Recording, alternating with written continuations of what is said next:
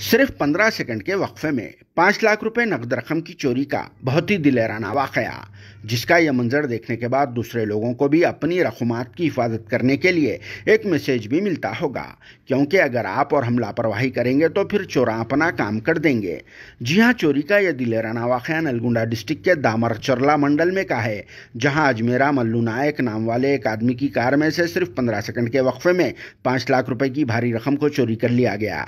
अजमेरा मल्लू नायक real estate का businessman होता है और वो मिरियालगुड़ा में ज़मीन खरीदने की गर्ज से पाँच लाख रुपए की इस भारी रकम को अपने साथ लेकर निकला था और फिर एक होटल के बाहर अपनी कार को पार्क करके खाना खाने के लिए अंदर चला गया।